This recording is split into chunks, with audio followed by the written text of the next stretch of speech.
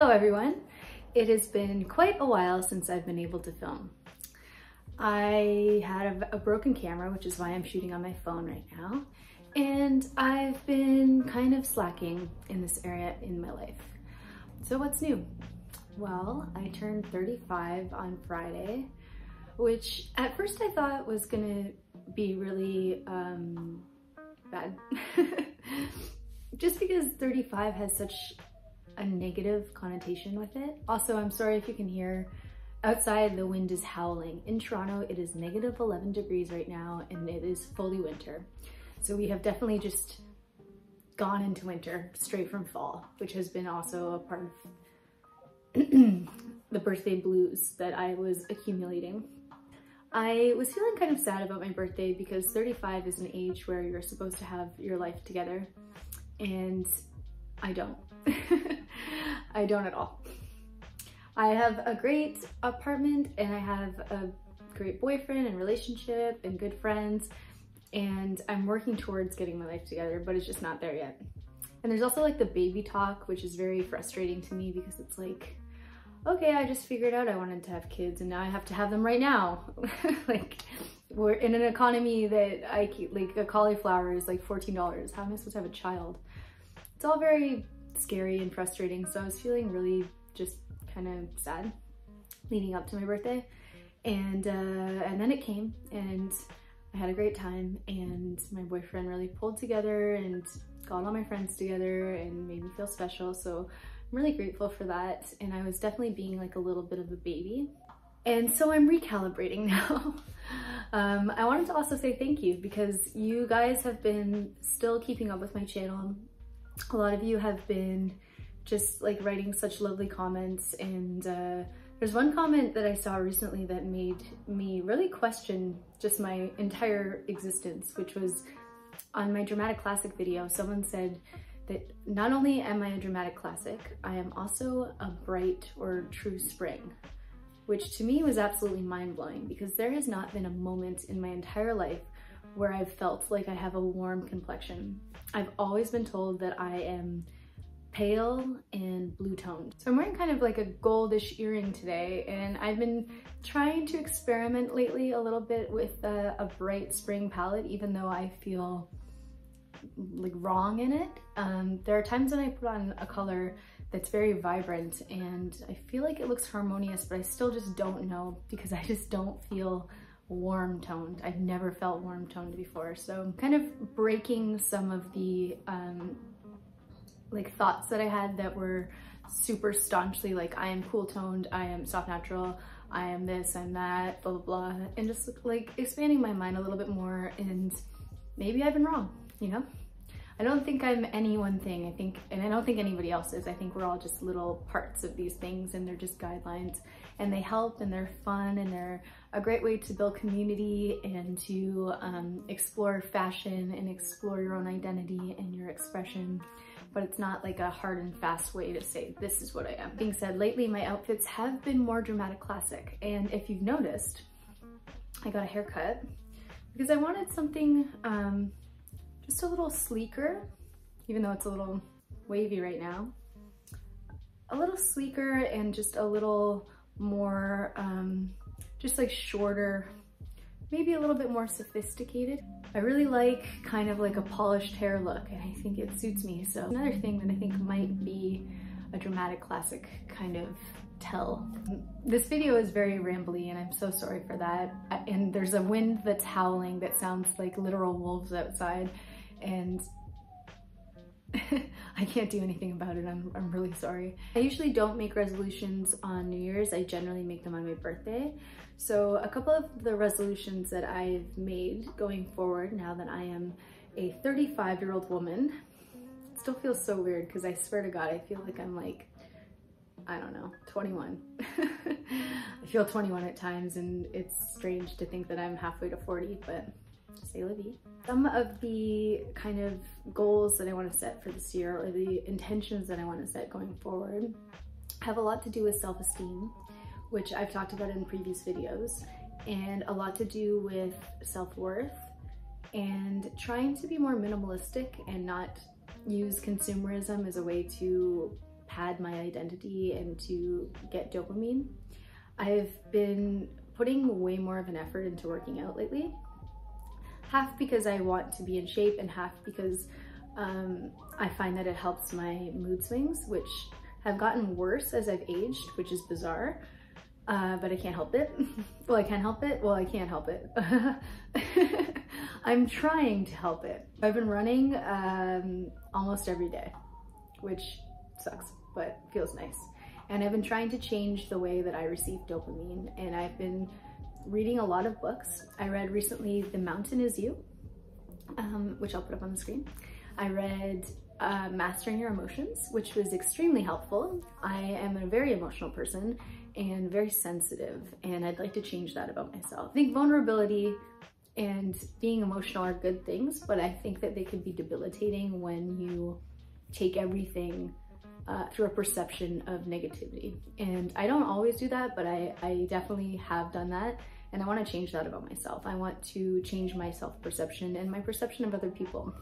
So that book was great for that. And I'm currently reading The Six Pillars of Self-Esteem, which is kind of a drier read, but it has some good things in it that have been helping. But the number one thing I'd say that's been helping me lately is just making a commitment to working out and following through with it. Self-respect is like the greatest form of self-love, I've heard. So I'm trying my best to keep my promises to myself and follow through. And I haven't let that slip and that's been really great.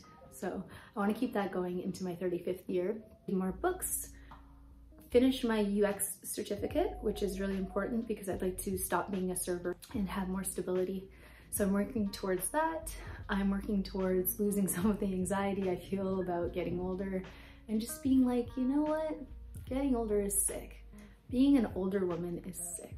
Being, like in a good way, being um, just like happy with who I am and how I look and just comfortable is the best thing you know? That's it. Let's try on some outfits. I've been rambling for 10 minutes. Hopefully I can cut some of this because it's gonna be annoying to watch all that, but let's see some outfits. Let's look at some of the nice winter outfits I've been wearing lately and yeah, let's go. So this is the first outfit I've been wearing a lot, which is an H&M sweater with some nice navy slacks. I also purchased this uh, scarf at Common Store, which is in my neighborhood and I just like like the combination of colors here. I don't know if they're my colors, but just think they look nice together. Um, the slacks are a little bit tricky because they are fast fashion, which we don't love, but I kind of was in a pinch and I had to get them. And I really love how they look. They're just like nice slacks from H&M.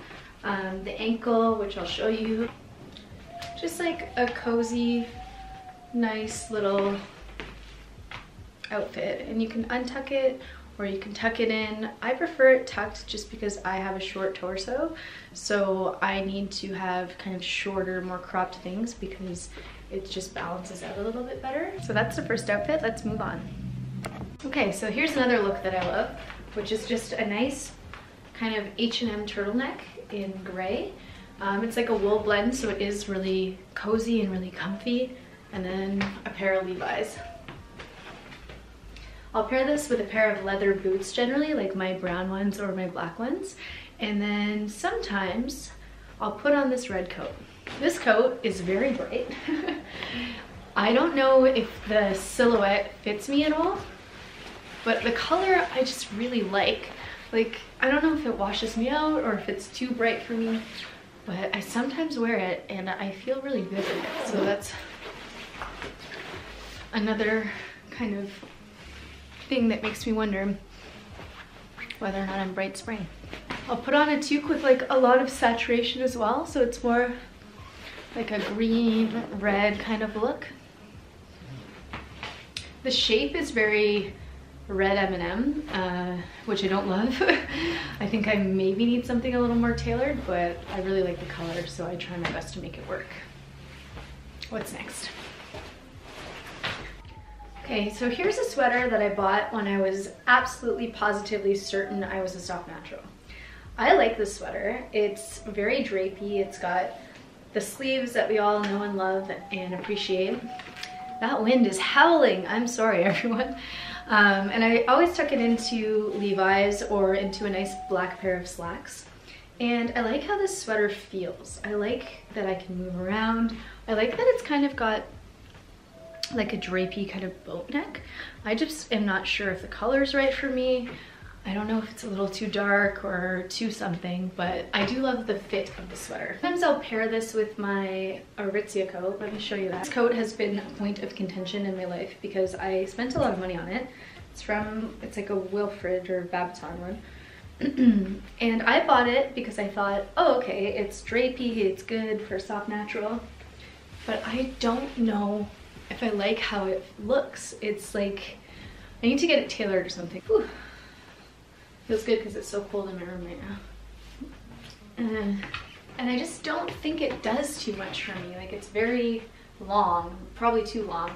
And this part just doesn't, I don't think flatters me. I think if it went up like this and like buttoned there, I think I would like it more.